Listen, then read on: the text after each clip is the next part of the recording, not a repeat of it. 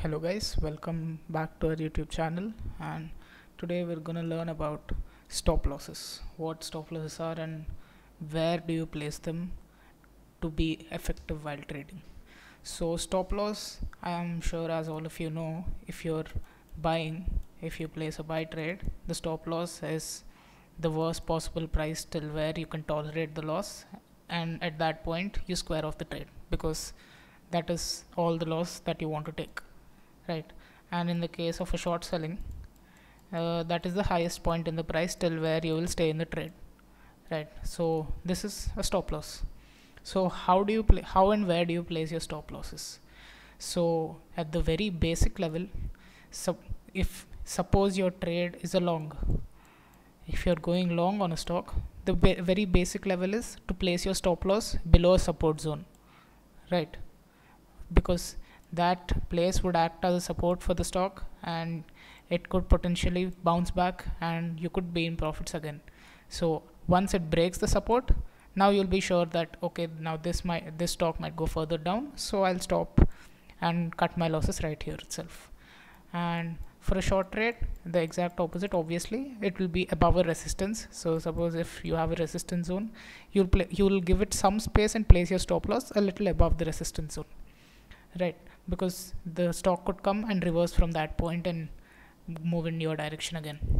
So uh, uh, what is important after your uh, once your stock starts moving in your direction? So suppose you have placed a trade at 100 rupees. So you have bought a stock at 100 rupees and your stop loss is 95 right? And you have a fixed target of let's say 110 now in this your risk to reward ratio is 2 2 is your risk to reward ratio which is a very decent risk to reward ratio right? So the stock has started at 100 and it slowly starts moving up. Now one important thing to remember is as I've told you already a lot of times stocks do not move up in a single line right? They move up in waves. They move up in waves and waves always. So it'll show some momentum upwards and then come back down. Again it'll go up and then come back down again. Now from 100 to 110 the uh, it is the target is of it we are targeting a 10% profit right? So very rarely does the stock directly go 10 uh, rise 10% in value. So it will go 2 to 3% maybe and then come retrace half percent one up one percent 1.5 percent whatever and then go up again and then come back again and then go up again so how do you deal with this and how uh, and how do you basically adapt to this? You have to keep modifying your stop loss. This is the very uh, important part. So you do not once you once your trade is is in green once your trade is in green and you're making profits you do not want that to turn red. If it's green let it stay green. You do not want a trade which is going well turning into a pro turning into a loss. So how do you try to minimize this? Obviously nothing is 100% sometimes it may but how do you minimize this? So whenever we observe that a stock is moving up it moves in waves right? This is the way it moves in. So what you do is whenever a stock goes up and suppose you bought this is your buying price and this is your stop loss so let me name this S1 this is the first stop loss you have to set when you when you place the trade. And let's say this is your target here.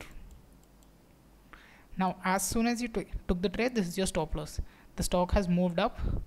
It has retraced a little and come back down. And then it has start move, started moving up again. So once the stock is around this area once it has started its journey upwards again what what would be better for you is you move this stop loss which was below your buying price to around this area. Now this I would say is S2 now what is the use of this? So you're buying here. When the stock moves up and start retraces and starts moving up again if you uh, shift your stop loss above now what what this does is your worst case scenario would be stock turning around from here and then breaking this support it has formed and then uh, hitting a stop loss again right? Even if this would happen you'd still make a profit. You're still in green. You're still making a profit and you're still in green. So this is the advantage. So because it's a game of probabilities. Once once this support is broken your buying price may also be broken and it may it there is a very good probability that the stock has turned around and the trend has reversed. So to avoid this you can always tra- this is called trailing your stop loss. So to avoid this you can always always modify and trail your stop loss so that you can minimize the number of uh, profitable trades turning into losses and hitting your stop losses. Right. So if you keep doing this suppose this is how the stock has moved. So this is your s1 once it goes here you modify and make this your s2 and once it comes back retraces and again starts moving up. You can modify this as your s3 so always main, give give it some gap give it some gap always for the stock to move below the support zone. Now again it has come up s4 and has hit your target here. So in case any any point of time at any point of time even if this, even if the trend reverses and uh, and the uptrend the stock moving in an uptrend turns into a sideways consolidation phase or a downtrend you will still come out of the trade with a profit. Right? This is the main advantage of this and this is the main point of modifying your stop losses and having trailing stop losses. This was about the stop loss part and about the targets part. So do you have fixed targets also? Now i said you need to have flexible stop losses. So you need fl a flexible sl now what what about a flexible target instead? Now target is generally fixed. That's what you would have learned from the very beginning. Now what if your target is flexible too? What does this mean? So even after my target has been hit once in a trade, so the trade has moved moved up and it has hit my target. This is my target level. Right, this is my buying price. And now this is my S4. This is my current S4. Now mostly it is a good practice obviously to book your uh, book your profits. But what if there is always this one dilemma? What if the stock shoots up even further? Now the target you set is around a resistance level obviously where previously it has taken resistance.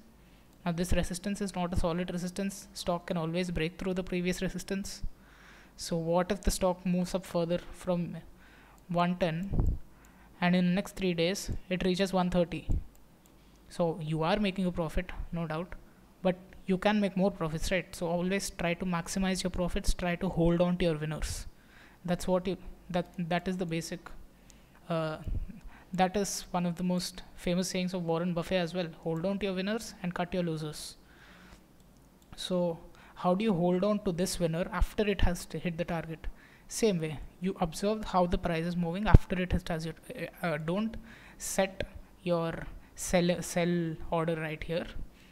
Don't place your sell order yet. Wait and see how the how the price reacts around your target level. Now suppose the price is consolidating or has started to move down. Yes of course you can book your book your profits. Your profits would be relatively lesser right? Uh, uh you'd still be in profit but they'd be uh, a little lesser. Now what if it is consolidating here for a couple of days and then breaks out? So this is again set a trailing stop loss again even after it has hit your target. Wait if there are any signs of reversal from your target point. If there is a bullish um, sorry if there is a bearish engulfing formed or a rejection candle formed or a strong red candle formed then you can exit the trade. Right.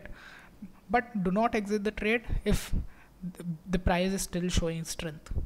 Now the advantages of this obviously you can get a bigger profit. Now i will show you this with a live example right which I have personally traded a couple of day, uh, a couple of months ago.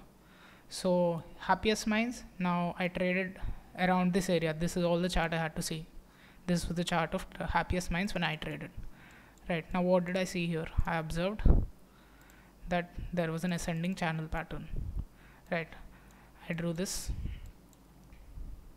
Here I saw that this this line was acting as a good support. Right and then this was an area of resistance for the stock. Now I I entered the trade around 350 rupees on the 8th of February right here at 350 this is where I entered the trade right? I had my stop loss below these previous lows the support it had taken from the trend line. So below this previous low was my stop loss. It was a very tight stop loss and my target was also around this high. So it was a 2.5 to 3 day uh, around these highs was my target. So this was a risk to reward of 3 so if I lose I lose 14 rupees. If I gain I make 43 rupees. This was a very decent trade right? And no in a, in just 4 days my my target was hit. But what happened on the fourth day when the target was hit was this candle had a gain of plus 7.8% on that day the stock moved 7.8% upwards. At the closing price it was 7.8 when it was at this point it was about 11 to 12% so did i sell this off right here as soon as i hit my target? No of course right. It, it, it's showing great momentum. Once it show once it has gained 7.8% or 10% or has gained a lot in one day the probability side is that it will keep going up there is a very less probability that will turn around and come back down right away. If it turned back and came right down then fine i book my targets right around here. I my profits would be relatively lesser. But i waited obviously because the stock was showing great momentum. I waited waited waited and booked somewhere around here. So what that essentially did was it turned my 1 is to 3 risk to reward into uh, into 1 is to 13 1 is to 14 so this is my ledger and here you can see the buying price is 350 and the selling price is 4 540 on the 8th of February and 23rd of February. The quantity I had to take less because I had some, uh, I had my money in other stocks as well at that time of uh, that point of time. So this was my trade 350 to 540. So as you can see, 540 is around here. So I still waited. I did not book my even after this candle. I was still waiting. Even this was a six percent gain. Why would I sell my stock after the stock rose up six percent? I waited again another day on this day it raised 5% on this day it went 3% so I kept waiting waiting waiting and then this was the point at which I observed the first signs of reversal a bullish reversal uh, I'm sorry a bearish reversal this was a bearish engulfing formed strong red candle so I still waited after this day closed also I saw how it reacted the next day and then the markets opened slightly up and the stock stock started coming back down again and that is when I booked my targets. So you can clearly see that after I booked my targets stock consolidated a lot right? So uh, I don't think I, I, booked right there. I booked on 23rd right? So 23rd is this day on this red day. On the first day itself I booked my targets uh, so I booked my profits so you can see as soon as I booked my profit, stock went into a consolidation phase again. So was this the right thing to do? Oh, absolutely it was because I so initially my risk to reward was 1.3 now it's around 1 is to 13 1 is to 14 right? So this is the advantage of trailing your stop losses. So this one trade was e could now even if I make 10 or 12 losses in a row this one trade is enough enough to compensate for me right? So this is the advantage of holding your holding on to your winners and holding a trailing stop loss and not a fixed stop loss and a fixed target right? So that you can maximize your profits and cut your losers.